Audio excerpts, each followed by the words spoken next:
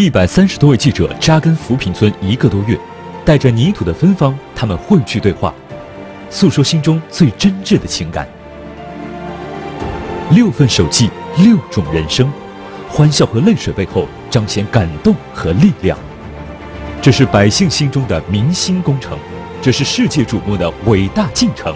对话为您讲述记者们眼中的扶贫故事，敬请关注。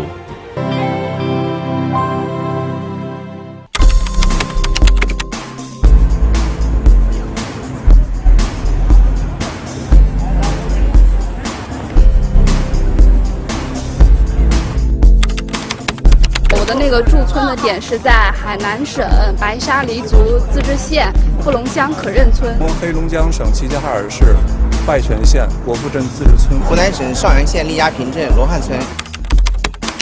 那天正好赶上了下雨，书记就给我们呃开了一段路的车，然后又步行了一段到镇上，然后又去市里，然后再从到绵阳市再坐飞机过来。没有高铁，也没有这些，所以只能坐车，坐这种坐那种大巴车过去。非常难，他们当地的交通非常的不好，很多的粮食都运不出去。在今天对话节目的一开场的短片当中，我们看到了来自四面八方的他们汇聚到了此刻的北京，他们从全国一百一十个贫困村而来，可能在刚才短短的时间里。我们来不及记住他们的名字，但此刻我希望大家能记住他们共同的一个身份，那就是记者。在刚刚过去的这一个多月的时间当中，来自全国的一百三十位非常优秀的记者，带着精准扶贫的使命，去到了全国二十二个省市自治区，他们和那些地方的贫困人们同吃同住，朝夕相处。这一个月的时间，他们发现了什么？他们收获了什么？今天。他们带着这份收获和感悟来到了我们的对话现场。我们从这两份调查手记开始。这条泥路到底有多难走？我专门找了个下雨天，走了一段还没有修的泥路，又黏又滑，脚下去就拔不出来。走了不到十分钟，心里就哇凉哇凉的。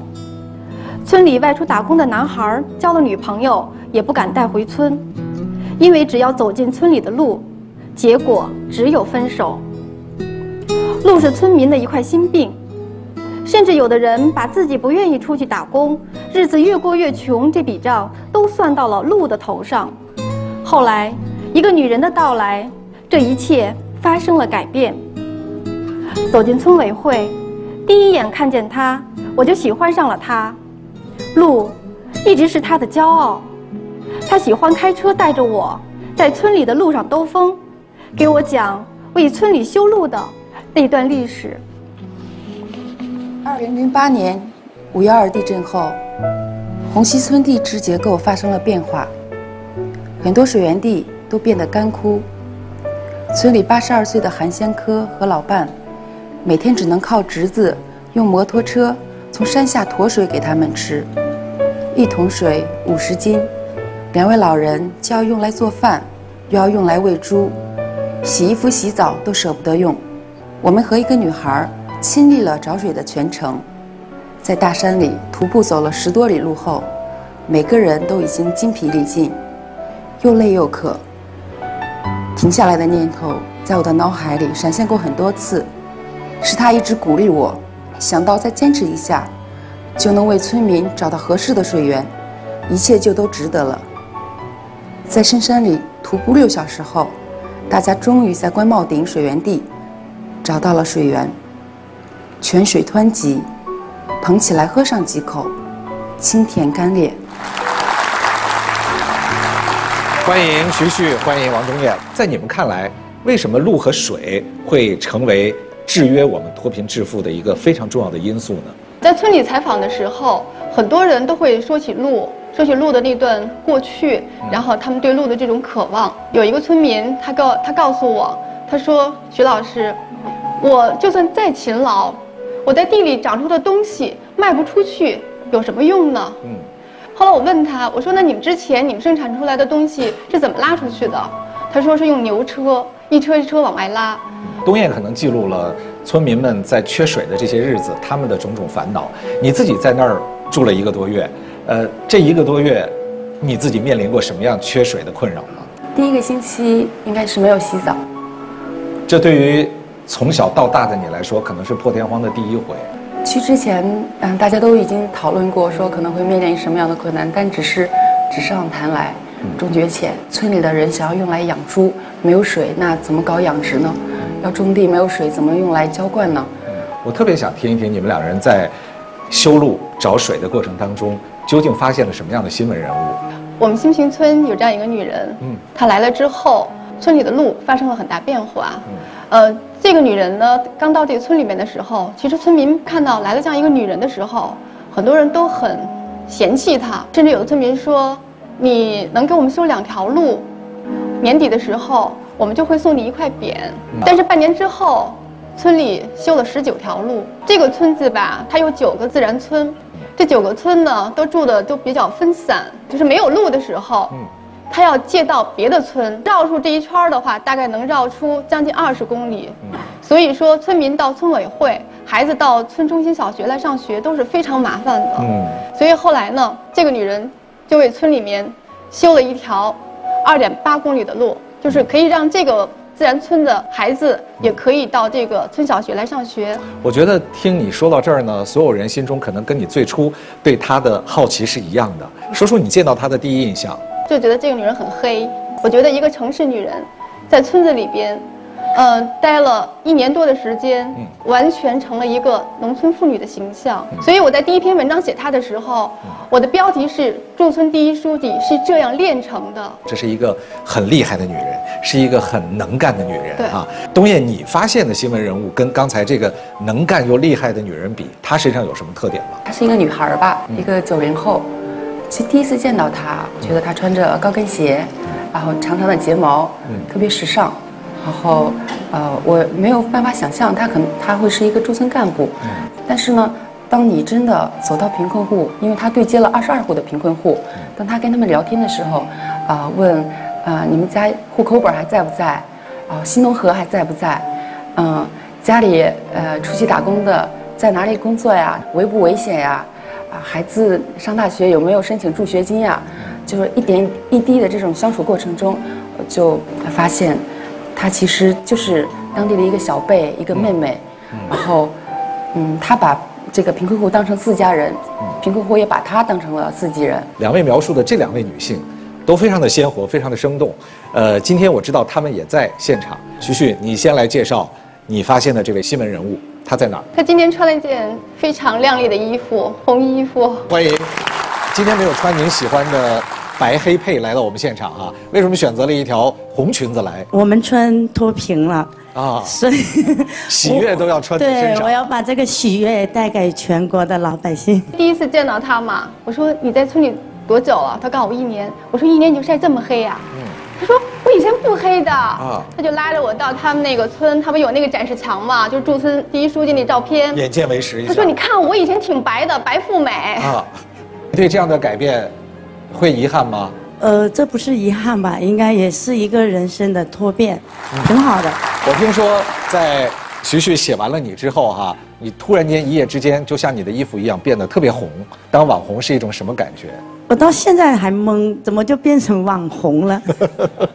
刚开始呢，还是有挺多顾虑，觉得可能担心读者会把一些重心会焦点吧聚集到呃我的生活。但是的话呢，我现在也觉得做网红也挺好，因为今天我可以带着我们村的年轻人来到这里，跟大家讲我们村的脱贫故事。嗯，修路一直都是我们心中的一个夙愿，偏偏你来了之后就做成了，而且还一修修了那么多条路，你有什么样的秘籍啊？首先，我觉得要做好老百姓的工作，因为修路的话会牵涉到用地的问题。我作为书记，只要老百姓呃心里有结，我就不不不停的 去他家，我就作做通，绝不罢休。对我就是这样。我们去基层采访的时候，我们也会听到一些干部就是给我们反映他们的委屈，说你看我在村子里边也是真的很是这个呕心沥血哈，然后带着大家去发家致富，后来村民们都富了，有的人住上了二层小楼，有的人甚至还买了汽车，可是他们居然还骂我。他说为什么呀？所以在修凯这个地方，我找到了答案。我觉得这是他把一条新路给打通了。那么当这条新路打通的时候，老百姓会给你什么信任？所以当这个村里面引进这个企业的时候，企业去这个村里面谈这个土地流转，一亩地都谈不下来。然后就向这个修凯求助，修凯呢，他就到村民家去谈这个土地流转。当时村民就说：“说书记，你的任期只有两年半，但我这个合同要签三十年，两年半之后你走了，我们怎么办？”然后修凯就说：“如果你信任我，我就是这个村一辈子的第一书记，为你们负责是我一辈子的责任。”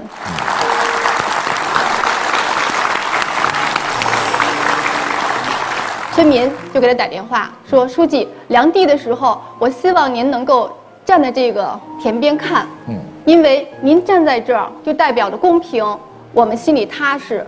所以这七百亩流转的土地，就是杨修凯站在这个土地边儿，一亩一亩这么量出来的。”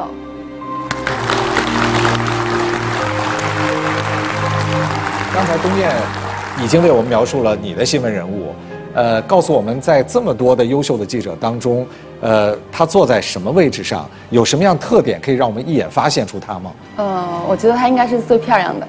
最漂亮的。对。好多女孩都挺直了腰杆哈，所以我们请她自己站起来跟大家打个招呼，好不好？果然好漂亮。我的脑海当中一直有关于你的三个标签，呃，一个是九零后，一个是学霸，一个是校花。你很难想象她的一份工作，她的追求是和这片土地有关系的。你能告诉我们为什么你会做这样的一个选择？我本来也就是土生土长的当地人，我就是那个平武县南坝镇的一个农民家的女儿，我祖祖辈辈都是农民。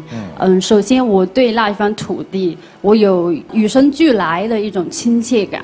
我当然也有诱惑，我也想努力，也想要留下来，对，也想努力留在城里。但是我一想到我的家乡，嗯，因为我们那个县城是一个国家级的一个贫困县，嗯，加上二零零八年啊五幺二的特大地震，嗯，是我的家乡本就不富裕的生活，嗯，变得更加的艰难。跟着那个部队他们一起回去的时候，我所看到那个场景。真正的使我呃产生了一种我一定要回来，嗯，将我的家乡与大家一起能够重建好。莎莎，你自己平时接触那么多的贫困户，有让你印象深刻的贫困户吗？嗯，有。嗯，呃，我印象对我影响最大、给我印象最深的一位贫困户就是，呃，红石村的一名贫困户，他姓杨，他们家在地震之前是。村里的一个富裕人家，但是零八年的一场地震呢，使他们家突然呃一贫如洗。嗯，她的丈夫当时就被那个石头砸了，就当时就遇难了。当她要冲冲到她家时，她丈夫就躺在她的那个眼前，她的儿子儿媳也受了重伤。不能动弹。她当时给我讲这段故事的时候呢，她当时就说：“我肯定灰心，我也伤心，但是我没办法，我我丈夫死了，我只有我自己坚强起来，我才能够把这个家撑起来。”在政府的帮助下呢，他自力更生，又新建了房子，又发展他的养殖事业。他今天也在我们的现场，他在，他在我旁边。来，我们欢迎他。主持人你好。你好，你好。你好。其实我们特别敬佩你，现在的日子过得好吧？过得好，好。养猪种地，嗯，我还把乡把那个厂子越扩越大。嗯。我驻村的地方是在重庆市开州区满月乡双坪村，负责带我去村里的那个乡干部。他说进村的话要必须经过一条悬崖天路，从远处看的时候啊，就是一面近乎九十度的垂直的一个悬崖。在我驻村蹲点之后。呃，我了解到这条天路，它是当地政府和村民一同出资出力所修建的。路修通了之后，村民的新路也打开了。嗯。那么外面的呃世界，他们也看到了，而村里的货物也能顺利的运出去。嗯。也吸引到了很多的外面的游客来到双坪村。去欣赏天路，乡村旅游也发展起来了。记者发掘的都是非常感人的中国故事，哈，就是中国普通人里边蕴藏的那些美好的东西啊。他们如果不驻村的话，他们很难发掘的。范长江当年他们的奋斗其实也是这样走过来的，哈，就是中国的记者其实都是到第一线去，而且同时呢，我觉得他的眼光是平视的，是和这些人在一起的，不是说我是。记者，我是一个仰视、俯视的眼光哈，就是我跟他是一样的，我们在一起生活，我们共同来了解这些事情。好的记者，呃，不是在现场，就是在去现场的路上。嗯，这是我们中国新闻界一直以来一个特别好的传统。嗯，就刚才义武老师讲到这个范长江，范长江当年这个上世纪三十年代的时候，沿着红军走过的路，发回了很多的报道。最后成就了新闻史上的名篇，这样一个传统，在我们一代一代的新闻人里面都是这么传下来的。关于脱贫致富，我们常常会说“授人以鱼，不如授人以渔”。所以呢，在我们记者的报道当中，也出现了这样的一个群体，他们用自己的智慧带动着我们的村民产业致富。接下来的时间，我们交给下面这两位记者。两年前，她还是大都市里摩登时尚的女郎。有一天，她突然做出了一个决定，她要回到小时候生活过的乡村，种辣椒。因为那一刻，这个女孩想起了2008年那个春节，那场刻骨铭心的漫天雨雪，突如其来的冰冻灾害。家中水没了，电停了，通讯中断了，他们和在外打工的父母也失去了联系。面对家里年迈的奶奶和两个年幼的弟弟，他不知道该怎么办。为什么我的眼里常含泪水？因为我对这土地爱的深沉。他永远不会忘记。正当家里陷入绝境的时候，是乡亲们，是村委会的干部们，伸出了援助之手，为他家接通了电，挑满了水，自发的捐款，给他们姐弟凑足了读书的费用。安徽省石台县河口村的一位贫困户变得开朗了，两年之前。帮扶单位领导走进他家，他除了笑着点头，一句话也接不上。领导走了，村干部问他：“刚才领导说的你都记下了？”他还是只点点头，呵呵的笑。村干部叹口气说：“哎，真是个老实人，可惜了，他是家中老小，要照顾年迈的母亲，想打工也出去不了。”那时候的他住在他出生前父亲就盖好的平房里，最贵的家具是他结婚时从镇上拖回来的一张沙发。住了四十多年的老房子漏雨，一到下雨天，他就要赶紧上房修瓦。今年夏天我见到他时，他已搬进了两层高的新房，爱人刚生了第二个孩子，四个儿子。他很开心，在采访他的时候，我感到了他的喜悦和幸福。在刚才的这段分享当中，我们看到的应该就是你们在这次的驻村调研过程当中找到的新闻人物。我第一次见到他是在党湾村，他是在蔬菜合作社的那个门面前面，但是我看到这个女孩。特别的时尚，然后漂亮，和种蔬菜就觉得反差很大。然后后来知道他是返乡创业大学生。党湾村的帮扶，他不是一个干部、一个人、一个单位在那儿帮扶，是一个集团。有市发改委，嗯，也在那儿给他投了十五万元作为他那个大棚。然后凤岗县组织部给他给了四万元。后来那个合作社成立之后。嗯，扶贫干部又帮他申请到了三十万元的专项扶贫基金，所以他的这个安氏蔬菜合作社，是体现了我们党湾村特有的一个扶贫模式，是一个集团党建家。掌声欢迎一下小安哈。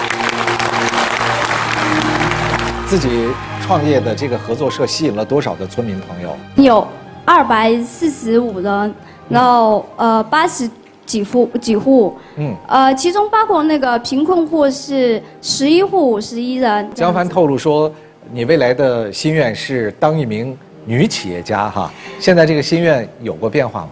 啊、没有，你心目当中的偶像是谁呢？在企业家这一块的话，就王健林啊，那个马云啊，他们这些。哦，这些都是你的目标 啊。不是这个是我羡慕的对象。那个你知道王健林说过他的一个小目标哈，先实现一下一个亿的小目标。那你既然已经把它作为了你的目标，你能透露一下你想先实现的小目标是什么？扩大我的那个基地的规模，嗯，呃，下半年预计呃那个规模达到五百，呃至一千亩这样子。嗯，我们就是希望他把企业做大做强之后，嗯，我们在这个过程中呢，他需要什么帮助，我们以各种形式去帮助他，嗯，跟他一起走，一起带着乡亲们去致富。问问，呃，廖副市长，在你们所在的遵义市，像小安这样的返乡创业的青年多吗？还真不少。嗯，总的目前为止有八万六千多人，这五年来翻了三倍多，越来越多的人加入到这样的行业。刚才我听听到他提到王健林哈，这个是呃非常大的目标哈。还有马云呢呃马云啊对，还有马云呢，啊这个是一加一 不光是传统企业，还有这个互联网，呃，这个非常恢宏的目标。但是他从这么一个小村庄里面嗯，我觉得其实记者在这个时候是参与了他的故事，不仅仅是这个观察哈，嗯而且参与介入对，全程的去，将来还而且建立了一种。姐妹的情谊啊，是让大家感受到中国的事儿，并不仅仅是有很多八卦、很多爆炸性的新闻，而且在这个普通人的生命里边、生活里边，有很多值得我们去发掘、去看的东西。我们中国需要这样的正能量。小李，你刚才也为我们介绍了自己的新闻人物哈。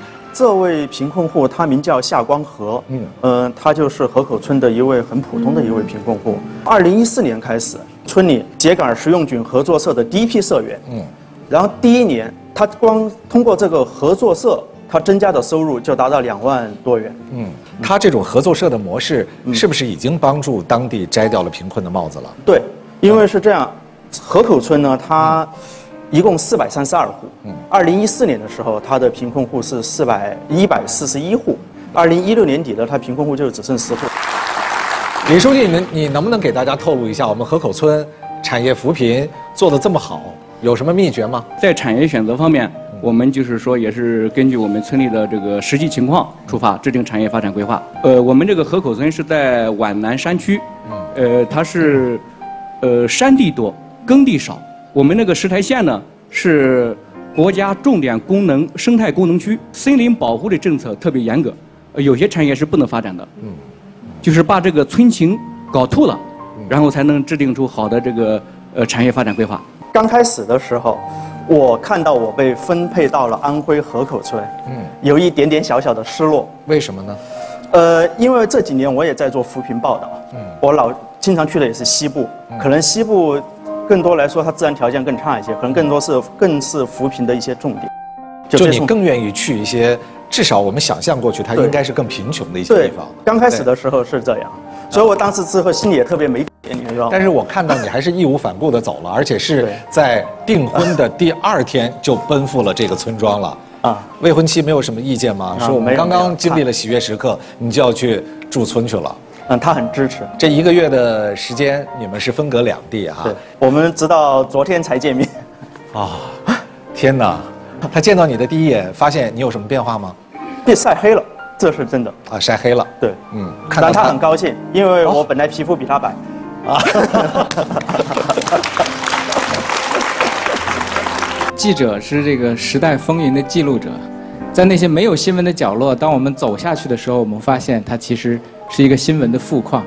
所以刚才这个呃书记也好，还是我们记者他的这个这些故事，我觉得他都用一种真实的力量在打动人。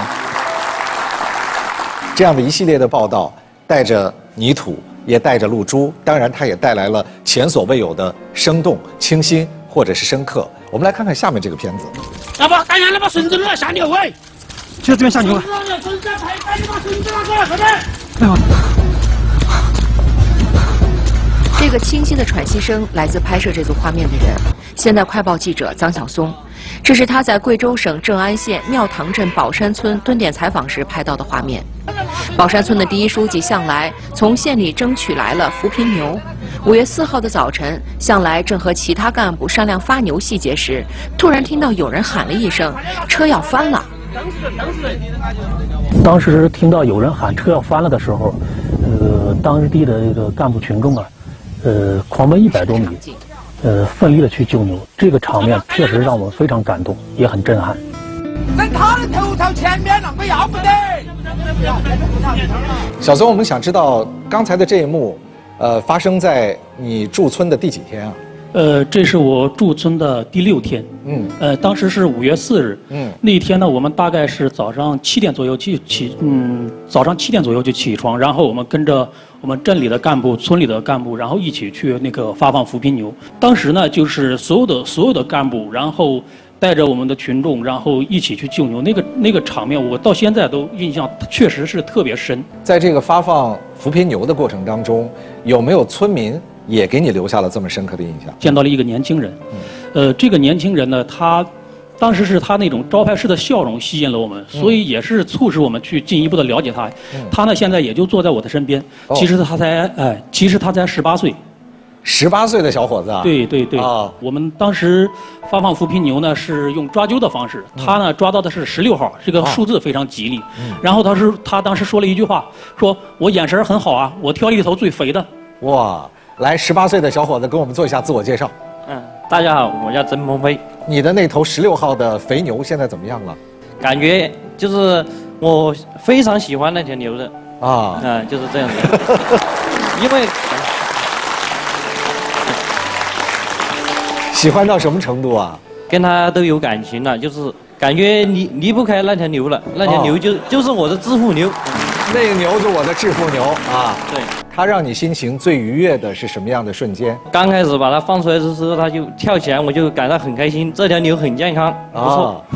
它身上充满了你对致富的所有的追求哈。嗯，我就是有几个愿望嘛，就是我想把那个牛和羊和蜂，我就是想把这几个企业嘛，就是搞起来嘛，搞搞搞成一个合作社，全有牛有羊，嗯，有蜜蜂啊。对，我就想把我们。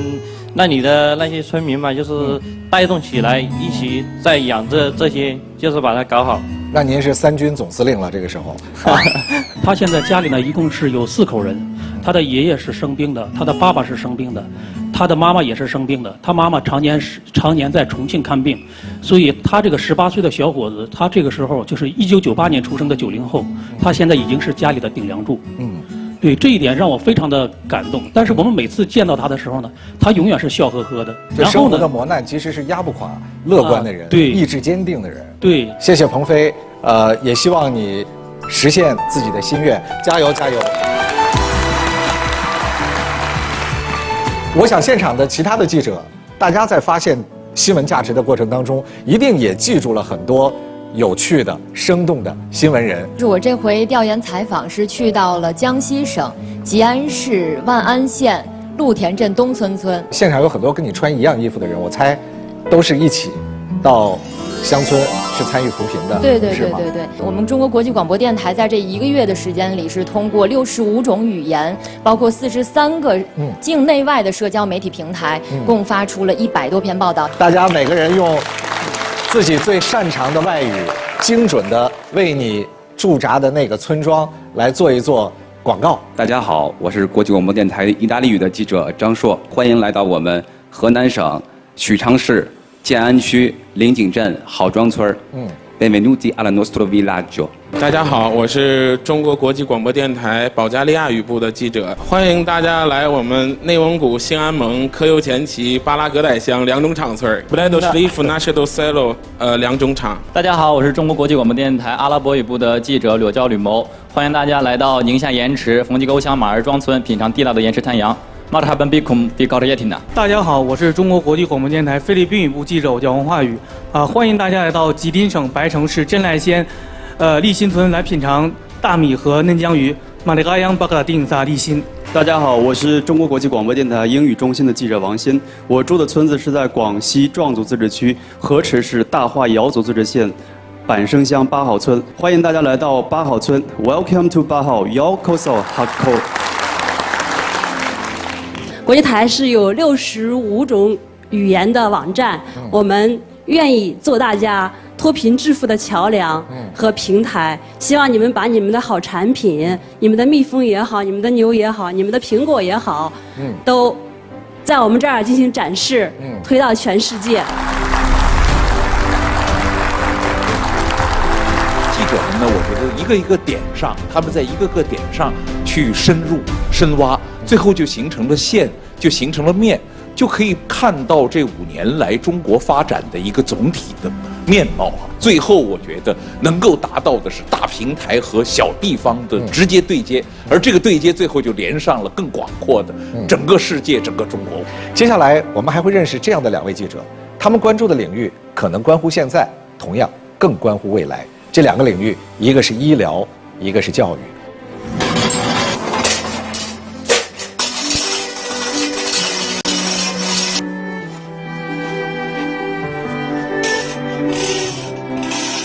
这你自己设计的？嗯，要不然老找找人。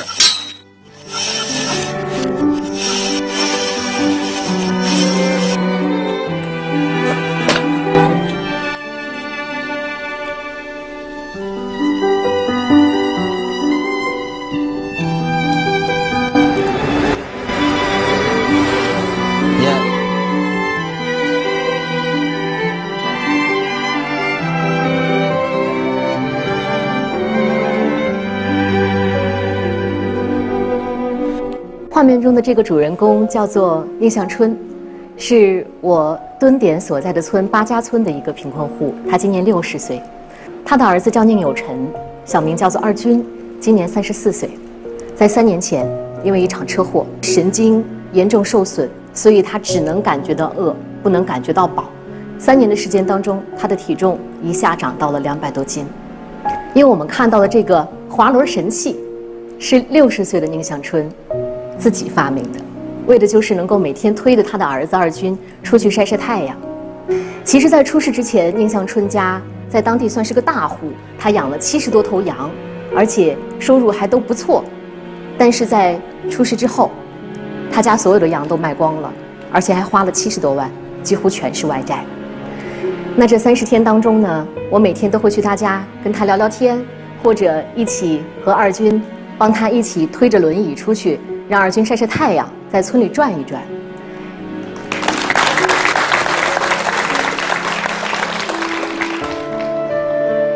母亲节那天，我来到雨台村的同伴妈妈课堂。课堂上，大大小小团聚着有二十多个孩子，其中有一个约十几岁的男孩，脸略有些黑红，一直沉默着。也许是在其他孩子的叽叽喳喳中，他的闷声不响，引起了我的注意。只见他第一个把给妈妈的贺卡写好，细心的用彩带打好蝴蝶结，交给老师。我走近他问：“你叫什么名字？你的爸爸妈妈在哪里？”他低声答道：“妈妈已不在了。”一下子，我的喉咙生生被什么堵住了，泪水瞬时充满了我的眼眶。我忙用手把眼角的泪拭去，问：“能让阿姨看下你刚在卡片上写的是什么吗？”她点点头，打开贺卡，只见上面用绿色的彩笔，浅浅的，但很工整的。在空白页头一行，大致写着：“妈妈，谢谢你给予我生命，我爱你。”那时，我的眼前已经模糊一片，心里默念：“若天堂有路，请寄去这份遥思。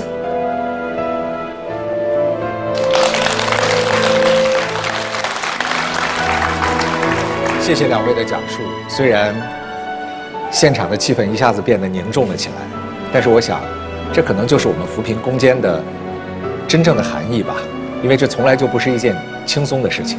在那么多的留守儿童当中，你为什么会觉得他是值得你去关注的一个新闻人物？我走进这个同伴妈妈课堂，当时这个满屋子的孩子都是叽叽喳喳的，我看他是认认真真的在写这个贺卡。然后低着头，觉得也许是，呃，出于新闻的敏感吧。那个时候我就走进了他，然后我就问了一下，这样的一个问题。现在回想起来非常奇怪，在在那一刻，我是，在我做采访二十多年的这个过程当中，我第一次差点失控。对这些孩子来说，我也很熟悉，因为在过去的六年时间里，我自己的公益基金打交道的只有一个群体，就是他们。全中国六千三百万的留守儿童，他们的那份孤独、苦闷、寂寞，甚至会有多多少少的一些怨恨，并不会常常的向普通人展露。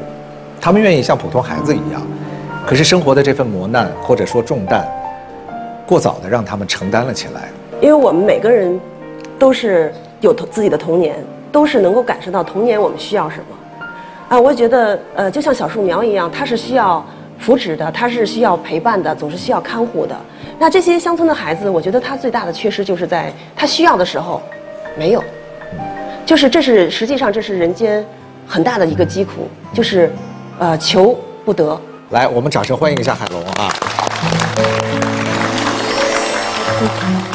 主持人叔叔好。海龙，这是你第一次到北京吗？是。是哈。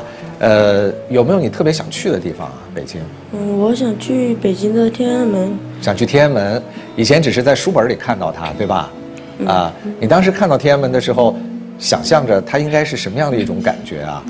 应该壮观、宏伟吧。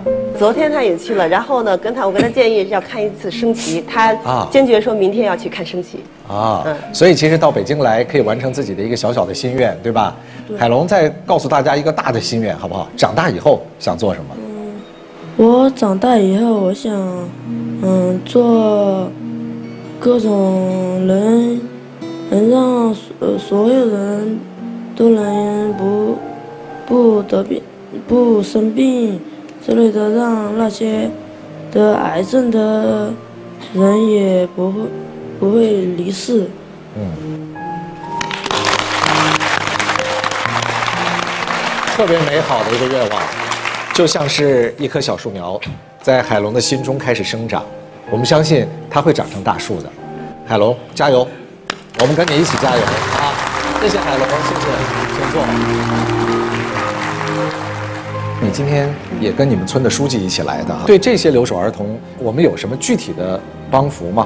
第五阶段的孩子来上学是免费的，在这个受中等教育和高等教育的是我们各级党委都出台了一个政策，有这么呃栋梁工程、雨露计划等等一系列的措施，在这些措施都不能解决问题的情况下，哎，由我们基层党组织，基层党组织发挥服务功能，我们只有一个目标，就是不让一个孩子因贫困而辍学。除了留守儿童之外，还有我们刚才凯迪带给大家的因病致贫这样的一个现象。呃，你是在什么样的情形之下发现了自己的新闻人物？殷祥春和他的儿子二军就一起生活在那个炕上，所以我当时一进去看到的时候，第一眼是看到了那样一个环境，第二眼就是看到那个滑轮嗯我完全不知道这个滑轮是干嘛用的。嗯当时。殷向春就一点一点的把他拉起来，然后把二军从床上一点点的搬起来。嗯，他那时候不知道我们会去，不知道我们是记者，结果跟我想象的完全不一样，真的反差很大。就像我刚才所说的，他特别乐观，他一直在笑，始终在笑。那时候我就觉得这家我要跟一跟，我来看一看。我们的村书记也在现场啊。对，像刚才老宁家这样的一个贫困的状况，呃，从。村里的角度来讲，会给出什么样的一些补贴吗？一个村，一个贫困村，最难的就是这一群因病致贫的人。我也是我们驻村第一书记工作上最挠头的事。是。像宁乡春这样的因病致贫，我们村里头每年，呃，在临时大救上大呃临时救助上，给他最高额就是三千块钱的补助。他二人所用的药品全部是零差价。嗯。呃，在协定医院住院，呃，起付线降低百分之五十。嗯。那个报销比例达到百分之八十。这是不是对我们村子来说，其实已经拿出了最大的力度在做帮助？对了，嗯。呃，但对不同疾病状况来说，有人可能刚刚好够了，有人可能远远还不够。我在想，需要让让这些人群，呃，加入一个社会的保险。嗯。如果用社会保险这这个来补偿他个人这个就是啥呢？健康兜底，这就所谓的。嗯。让这个健康兜底这个负担，那个分配到社会保险上来。这样就减轻了这个贫困人口的这个呃经济压力。我在蹲点的时候，刚好遇到了一次健康入户，一次县卫生院下来的一个县医院下来的一个义诊。当时我就问一个老大爷，他叫杨杨金亭，这个老大爷就是完全躺在床上。当时他是呃在做劳作的时候爬到树上不小心掉下来了，结果摔坏了神经，也是整个人躺在床上起不来。我就问他说：“这些医生大概多久来一次啊？”他说。在他刚开始躺到床上，就是输尿管各方面都不能换的时候，几乎是每周要来两三次，甚至是四五次。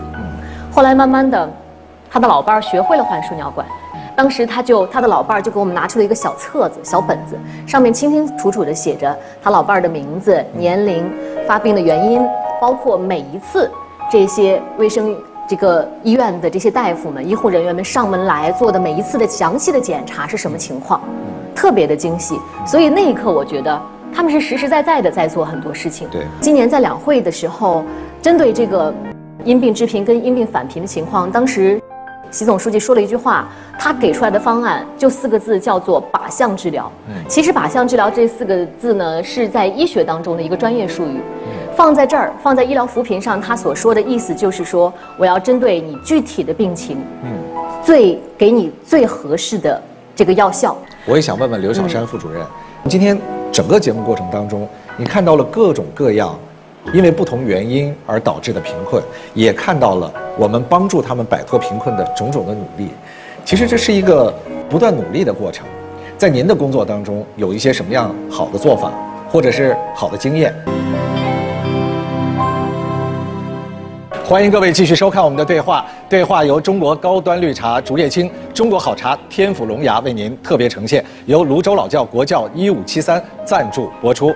一三年实施精准扶贫，一五年中共中央做出打赢脱贫攻坚战的决定，一六年中央在脱贫攻坚的顶层设计上基本完成。我们现在今天来到的这个现场，我能感受得到。各级在抓政策的落实，给我们扶贫人是一个鼓舞。他已经抓到了扶贫工作的一个关键点。再就是我们媒体能起到的作用，今天也充分表达出来了。对媒体能把这种正能量，把这种好各种好方法，这个能够传播出去，这是一种社会的大爱，国家的大爱，也是我们党所定的啊，要走共同富裕发展的道路。此刻在重新回望我们曾经经历过的难忘的这一个月的时候，也许会有很多的瞬间一下子浮现在你的眼前。我很想来寻找一个瞬间，就是当我们要跟村民们曾经朝夕相处了三十天的村民们说再见的那一刻。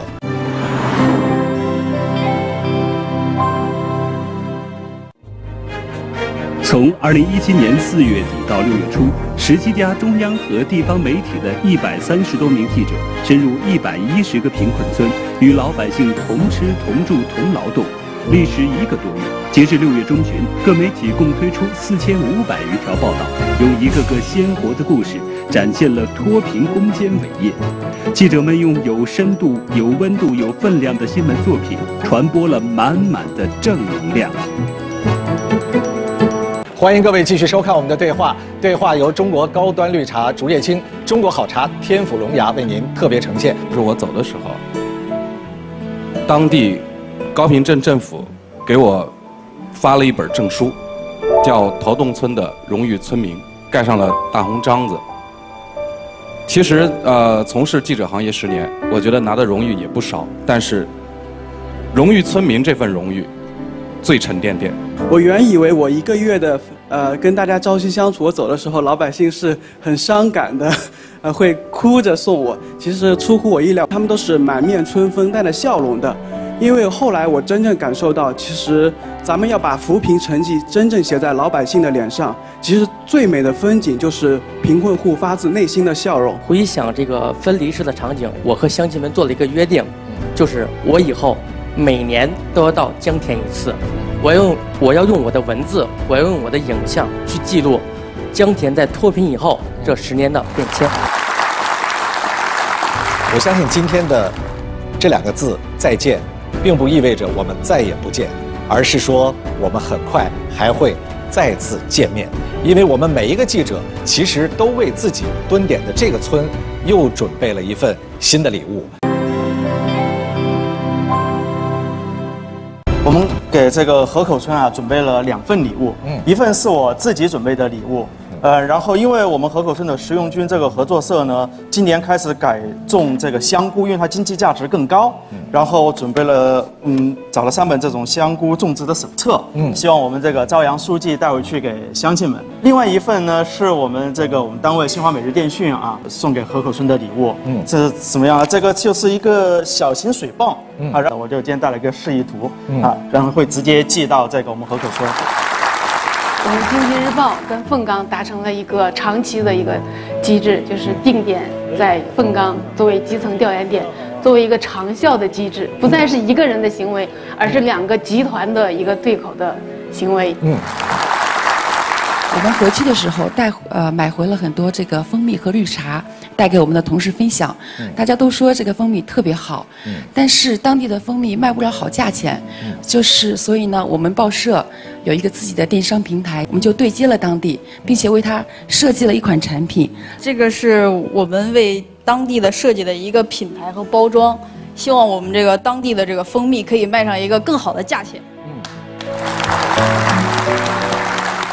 我们村已经脱贫了，嗯，呃，虽然物质上脱贫了，我们还是希望我们思想上也脱贫。这次呢，我们报社呢准备了两份礼物，一份呢是我们这次四四位记者蹲点的村，成为我们中国妇女报今后长期关注、长期走转改的一个地点。第二份礼物呢，是我们报社的一个核定本的一个报道。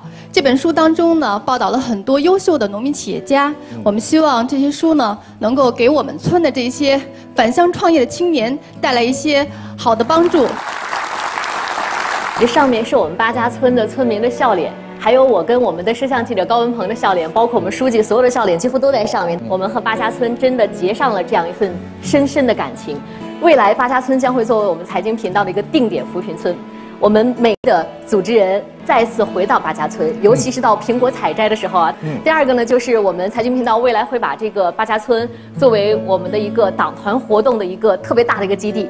以后呢，我们会带着更多的这个我们的记者同仁到八家村，和你们一起种果树，一起采苹果，一起包粽子，一起过更多的节日。如果说八家村的产业遇到一些困难的时候，我们将会尽最大的努力为他们对接这些合适的企业，教你们如何去生产啊、加工啊，甚至销售。但是这个承诺不只对八家村有效，对全国所有的贫困村全有效。啊，我的礼物呢是一个相机，尼康相机，因为我住的这个村留守儿童非常的可爱。我希望的是这个，他们能用这个礼物来记录这些孩子的成长，他们的点滴的欢笑。少年强，则中国强。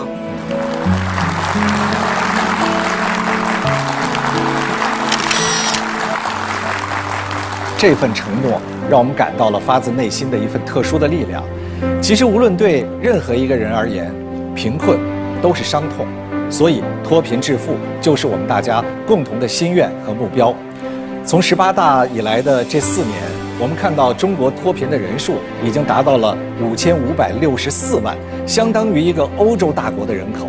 而在未来这三年，在我们全面建成小康社会到来的那一刻，我们需要脱贫的人数依然还有四千三百三十五万，这是一个庞大的群体，这依然是考验我们的一场攻坚战。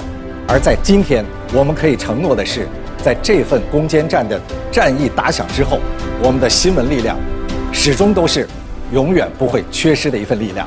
让我们一起努力吧！谢谢各位。